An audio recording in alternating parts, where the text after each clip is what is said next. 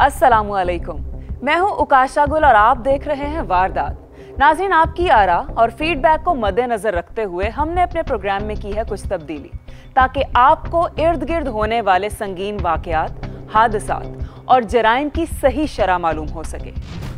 हमारी कोशिश होगी कि ना सिर्फ़ हफ़्ते भर में होने वाले संगीन जराइम पर मबनी रिपोर्ट्स आपके सामने ला सकें, बल्कि रोज बरोज बढ़ते हुए संगीन जराइम के हकीकी आदादो शुमार से भी आपको आगाह कर सकें। इस सब में शामिल होगा पुलिस गर्दी, करप्शन और टॉर्चर जैसे मसाइल पर मबनी, पुलिस और इंतजामी अफसरान के इंटरव्यूज़ भी। सबसे पहले बात करते हैं पंजाब के सूबाई दारुल हुकूमत, यानी लाहौर में कत्ल की वारदातों की।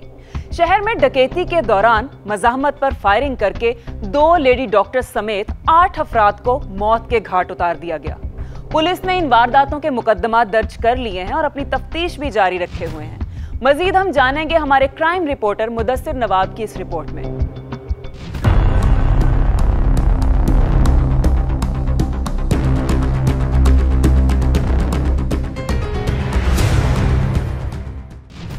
लाहौर डिफेंस ए में लेडी डॉक्टर खौला अहमद खान को डकैती वारदात के दौरान मजामत पर फायरिंग करके कत्ल कर दिया गया। मकतूला अपनी सहेली को मिलने के बाद वापस घर लौट रही थी कि डाकुओं ने इसे आ लिया। सीसीटीवी फुटेज में देखा जा सकता है कि दो मोटरसाइकिल सवार डाकुओं ने खोला को असलह की नोक पर यरगमाल बनाकर लूटना चाहा तो लेडी डॉक्टर ने मजामत शुरू कर दी। मुलजिमान ने खोला पर यके बाद दीगरे तीन फायर किए, जो इसकी मौत की वजह बन गए। डिफेंस के इलाके में एक बड़ा अफसोसनाक वाक़ हुआ था, जिसमें एक लेडी डॉक्टर खौला अहमद ख़ान, उनका दौरान डकैती कत्ल हो गया। बहुत ही अफसोसनाक वाक़ था। इस संगीन वारदात के बाद आईजी पंजाब ने सीसीपीओ लाहौर गुलाम महमूद डोगर से तफसीली रिपोर्ट तलब की। लाहौर पुलिस का दावा है कि पुलिस ने मुलजिमान को गिरफ़्तार कर लिया है, जिनकी शनाख्त मोहम्मद अयाज और मोहम्मद बिलाल के नाम से हुई। बारह घंटे के अंदर हमने वो दोनों मुलजमान गिरफ़्तार कर लिए हैं, जिन्होंने ये ये जुर्म जिसका इरतकब किया, और इस वक्त वो हमारी हिरासत में है। दूसरी जानब गुलशन रावी में नामालूम अफराद की फायरिंग से दो सगे भाई जाँ बाक हो गए।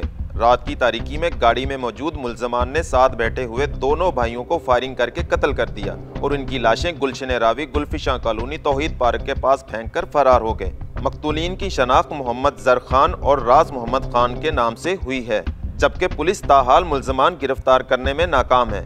अलाका मकीन इस वाक़ के बाद खौफजदा है और आला पुलिस हुकाम से तहफ़ की फरहमी का मुतालबा कर रहे हैं। इस तरह के अगर शहर में ख़तरात और इस तरह के वारदात और सारा कुछ होता रहेगा तो शहरी घरों से निकलना छोड़ देंगे, डर के मारे वो जो है अपने घरों में कैद होकर रह जाएँगे। मेरे अपने बच्चे मैंने उस दिन से बाहर निकालने छोड़ दिए तो बाकी का हिसाब लगा ले, क्योंकि खौफ रहता तो इधर बहुत ये शाम के टाइम में कोई आपको नज़र नहीं आ रहा। हर बंदा डरा हुआ है, क्योंकि आए दिन वाक़ यहाँ पर हो रहे हैं आजकल। मैंने आपको बताया कि दस, इस वाक़े से पहले दस पंद्रह दिन का वाक़ यहाँ पर लाश, नाले से लाश निकली रायवंड के इलाका में भी लेडी डॉक्टर की लाश बरामद हुई है, जिसको मुबैना तौर पर कत्ल किया गया है, जबकि पुलिस का कहना है कि इसके खामत को शक की बुनियाद पर हिरासत में ले लिया गया है। अलावा अजीम नामालूम कार सवारों की फायरिंग से रायवंड के इलाका में सिक्योरिटी गार्ड नदीम जान की बाजी हार गया और मुलजमान ताहाल फरार हैं। शहर का कोई भी इलाका हो, ऐसी होलनाक वारदातों से महरूम नहीं। कत्ल की एक और लर्जा खेज वारदात हरबंसपुरा में पेश आई, जहाँ बड़े बेटे ने तैश में आकर सगे भाई और माँ को कत्ल कर दिया। जबकि वाल्टन के एक शॉपिंग मॉल में डकेती मजामत के दौरान एक शख्स सवेर गोंदल को कत्ल कर दिया गया। शहर में बढ़ती हुई डकेती और कत्ल की वारदातों में इजाफा पुलिस और दीगर कानून नाफिज करने वाले इदारों की कारकर्दगी पर सवालिया निशान है। तो दूसरी तरफ़, ये हुक्मरानों के लिए एक लम्हा फिक्रिया भी है, क्योंकि आसमानों को छूती महँगाई, डकेती की वारदातों में इजाफे की सबसे बड़ी वजह है। प्रोग्राम वारदात के लिए कैमरामैन इमरान इकबाल के साथ मुदसर नवाब, लाहौर। नाजरीन, रिपोर्ट आपने देखी। कत्ल की वारदातों के अलावा भी इस हफ़्ते लाहौर में होने वाले जराइम की फहरिस्त काफ़ी तवील है। और हम उस सब पे नज़र भी डालेंगे। मगर सबसे पहले वक्त हुआ है उन मजलूम और बेबस दरखास्त गुजारों का, जिनके हिस्से में सिर्फ़ सबर ही आता है।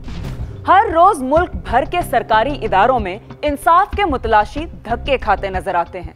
बासर शख्सियात या रिश्वत के बायस। किसी के मुलजिम गिरफ़्तार नहीं हो पाते तो किसी की ज़मीन पर से कब्जा ही नहीं छूट पाता। हमारे क्राइम रिपोर्टर मुदस्सिर नवाब इस वक्त एक ऐसी खुली कचहरी में मौजूद हैं, जहाँ गरीब आवाम इंसाफ की तलाश में है। इन्हीं में मौजूद है वो 11 साल बच्ची जो दरखास्त लेकर अपने वालदेन के हमरा पहुँची है पुलिस तक। जी मुदस्सिर, कहाँ हैं आप? बताइएगा क्या सूरत हाल है, क्या वाक्य है इस 11 साल बच्ची का? जी हाँ बिल्कुल उकाशा, मैं इस वक्त जो है इकबाल टाउन डिवीज़न के पुलिस स्टेशन शेरा कोर्ट में मौजूद हूँ, जहाँ पर जो इस डिवीज़न के एसपी हैं डॉक्टर रजा, उनकी जानब से खुली कचहरी भी लगाई गई और आम शहरियों की दादरसी के लिए और मुख्तलिफ़ जो क्राइम्स के जो इशू हैं, उनको हल करने के लिए खुली कचहरी लगाई गई है। यहाँ पर जो साहिलीन आए हैं, बल्कि जो मुतासरीन हैं, वो हमारे साथ यहाँ पर एक मौजूद हैं। छः तरीक नो सतमें महीने छः तरीक नो मेरी बच्ची गुआ हुई सी।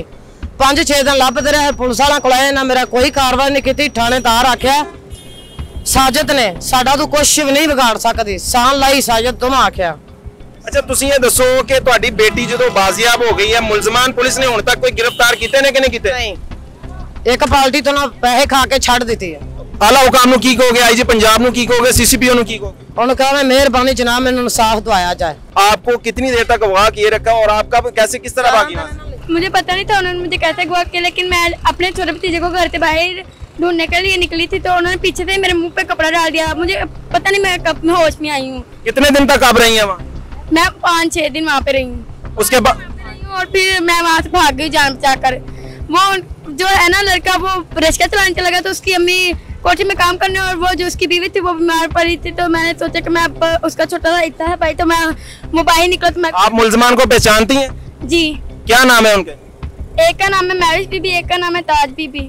और अ, लड़के का नाम है नदीम ये वाकया कैसे हुआ है कब हुआ है और पुलिस अब क्या कर रही है ये ਅਸੀਂ ਬ- ਪੰਜ ਛੇ ਦਿਨ ਢੂੰਡਦੇ ਰਹੇ ਭਾਈ ਫਿਰ ਉਸ ਪਿੱਛੇ ਫਿਰ ਦਰ- ਦਰਖਾਸਤ ਦਰਵਾਨ ਕੀਤੀ ਫਿਰ ਪਰਚਾ ਇਹਨਾਂ ਨੇ ਕੀਤਾ ਫਿਰ ਉਹਨਾਂ ਨੂੰ ਪਤਾ ਚੱਲਿਆ ਵੀ ਪਰਚਾ ਹੋ ਗਿਆ ਬੱਚੀ ਦੇ ਬਿਆਨ ਕਰਵਾਏ ਨਾ ਉਹਨਾਂ ਨੇ ਬੱਚੀ ਦੇ ਮਾਂ ਸਾਡੇ ਖਿਲਾਫ ਬਿਆਨ ਕਰਵਾਏ ਮੇਰੇ ਖਿਲਾਫ ਤੇ ਮੇਰੇ ਦੋ ਬੱਚਿਆਂ ਦੇ ਖਿਲਾਫ ਬਿਆਨ ਕਰਵਾਏ ਫਿਰ ਇਹਨੂੰ ਕਿਹਾ ਨੇ ਵੀ ਤਾਂ ਦਿਆਂ ਦੇ ਤੇਰੀ ਮਾਂ ਨੂੰ ਨਹੀਂ ਤਾਂ ਤੇਰੇ ਪਿਓ ਨੂੰ ਵੀ ਤੂੰ ਸਾਨੂੰ ਨਾ ਬਿਆਨ ਦੇਣ ਦੀ ਮਾਂ ਦੇ ਤੇ ਪਿਓ ਦੇ ਖਿਲਾਫ ਤੇ ਆਪਦੇ ਭਰਾਵਾਂ ਦੇ ਪੁਲਿਸ ਹੁਣ ਤੁਹਾਨੂੰ ਕੀ ਕਹਿ ਰਹੀ ਹੈ? ਪੁਲਿਸ ਕਹਿ ਰਹੀ ਤਫਤੀਸ਼ ਬਦਲ ਲਵੋ। ਦੂਸਰੇ ਕਹਿ ਰਹੇ ਨੇ ਜੇ ਸਾਡਾ ਤੁਸੀਂ ਕੁਝ ਨਹੀਂ ਕਰ ਰਹੇ ਹੋ ਤੇ ਨੇ ਕਿਹਾ ਹੈ।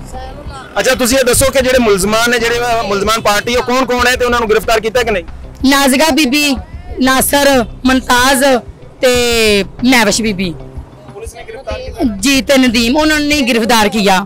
ਪਹਿਲਾਂ ਕੱਚੀ ਜ਼ਮਾਨਤ ਸੀ ਹੁਣ ਪੱਕੀ ਜ਼ਮਾਨਤ ਹੋ ਗਈ ਹੈ। जी हाँ बिल्कुल जी, जैसा कि आप ये सुन रहे हैं कि मैं इस वक्त शेरा कोट के बाहर मौजूद हूँ। यहाँ पर ये लोग मुतासरीन जो है, यहाँ पर आए हैं और अपनी दाद रसी के लिए यहाँ पर पहुँचे हैं, लेकिन पुलिस की जानब से इनकी कोई सुनवाई ना किया जाना एक सवालिया निशान है, जबकि दूसरी जानब पुलिस ये दावे कर रही है कि हम यहाँ पर शहर के मुख्तलिफ़ इलाकों में जो है खुली कचहरियाँ लगा रहे हैं, ताकि लोगों को इंसाफ फराम किया जा सके, लेकिन ये मुतासरीन इस सवाल का जवाब ढूंढ रहे हैं। जी।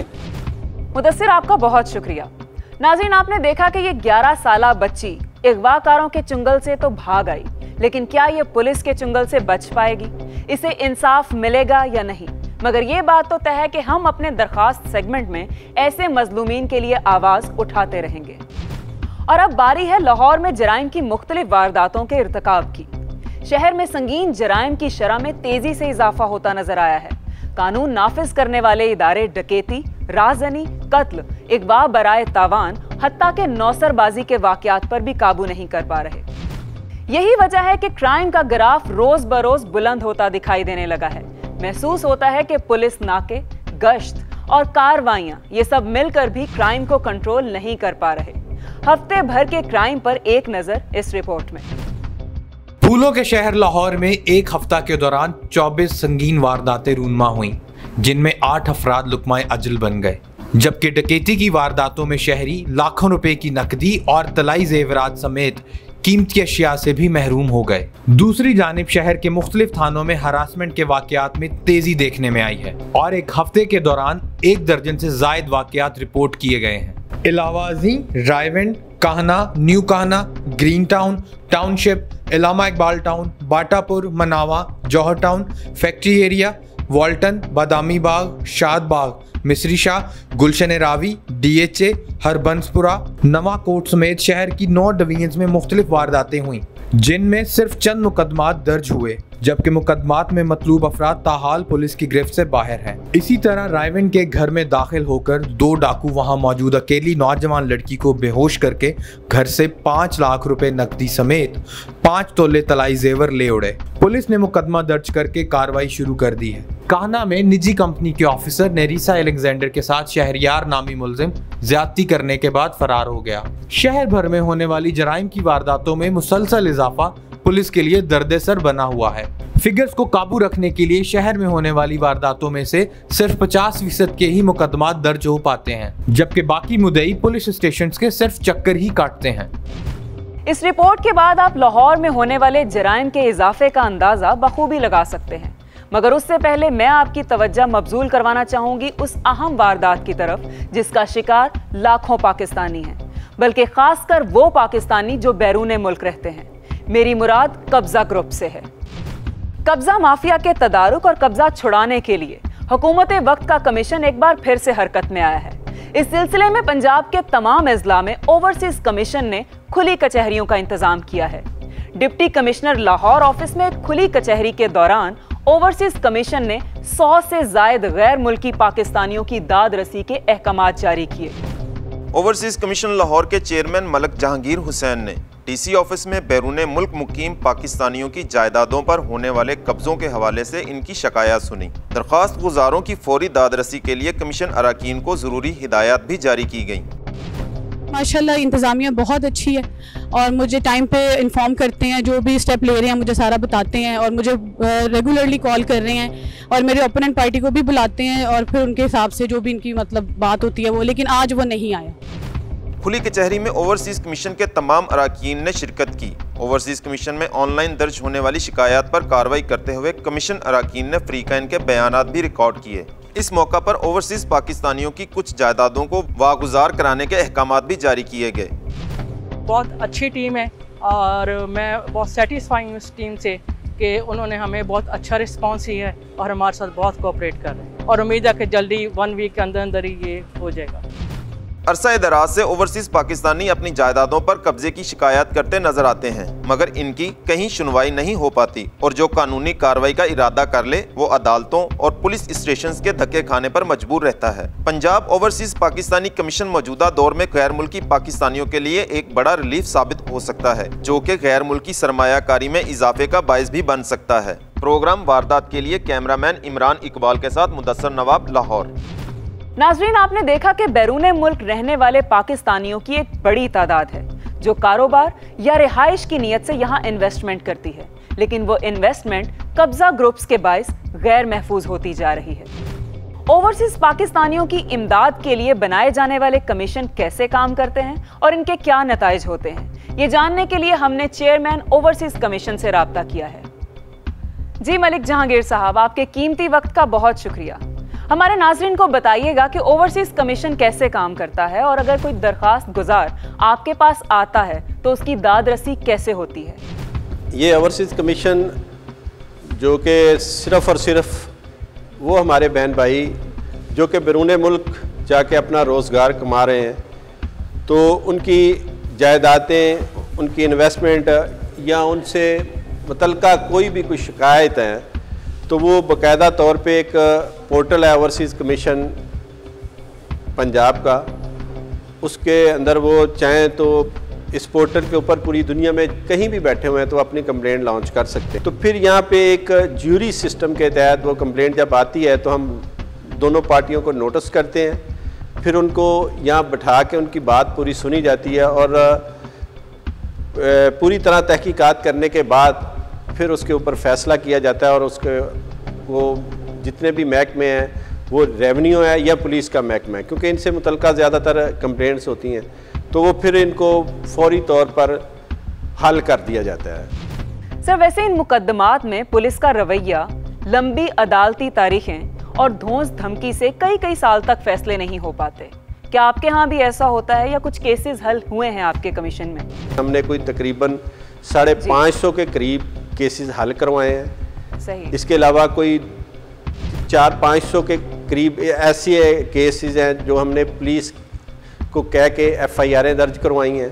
इसके अलावा मुख्तलिफ़ महकमों जैसे कि कोऑपरेटिव महकमा कोऑपरेटिव और महकमा एल डी ए का जो डिपार्टमेंट है वहाँ से जाके लोगों के मसाइल इसके अलावा वो हल करवाएँ।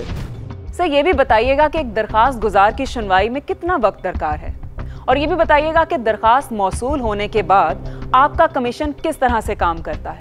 आम रूटीन का आपको पता है कि बड़ी डिले चीज़ें हो जाती हैं लेकिन यहाँ पर एक हफ़्ते से ज़्यादा कोई भी रिपोर्ट बन के आनी है तो इसको एक हफ़्ते से ज़्यादा टाइम नहीं लगता। सर आपके हिसाब से मौजूदा हुकूमत में कब्जा ग्रुप्स के खिलाफ की गई कार्रवाइयाँ काफ़ी हैं? नहीं देखें उसके ऊपर भी वज़ी अजम पाकिस्तान उन्होंने ये ख़ास तौर पर कब्ज़ा ग्रुपों के ख़िलाफ़ एक पूरा महाज बनाया और पिछले तीन सालों के अंदर आप ये अगर देखें तो आपको पूरे पाकिस्तान के अंदर एक चीज़ नज़र आई होगी कि वज़ी अजम पाकिस्तान ज़ाती तौर पर दिलचस्पी लेकर हर सूबे के चीफ सेक्रटरी और आईजी को यही हदायत करते हैं कि आम पाकिस्तानी जो हमारा यहाँ पे रहने वाला है या ओवरसीज़ पाकिस्तानी है, उसकी अगर जायदाद पर कोई कब्ज़ा हुआ है तो उसको यानी ज़्यादा से ज़्यादा सपोर्ट करें और उसकी जायदाद उनसे कब्ज़ा ग्रुप से छुड़वा कर असल मालिक के हवाले करें। जी मलिक जहांगीर साहब, आपके कीमती वक्त का बहुत शुक्रिया। नाजरीन, आपने देखा कि हुकूमत वक्त की तमाम तर काविशों के बावजूद कब्जा ग्रुप्स की कार्रवाइयों को काबू करना काफ़ी मुश्किल हो गया है। लेकिन हमारे वज़ीर आज़म इस जिम्न में काफ़ी पुरुद नज़र आते हैं। इसी के साथ हमारे प्रोग्राम वारदात का वक्त खत्म हो चुका है, लेकिन अगले वीकली क्राइम राउंड अप में आपसे एक बार फिर से मुलाकात होगी। तब तक के लिए मुझे इजाज़त दीजिए, लेकिन जाते जाते याद रखिए कि जुर्म तो मुजरिम करता है, लेकिन उसमें सबक हम सब के लिए है। अल्लाह ने गेवा।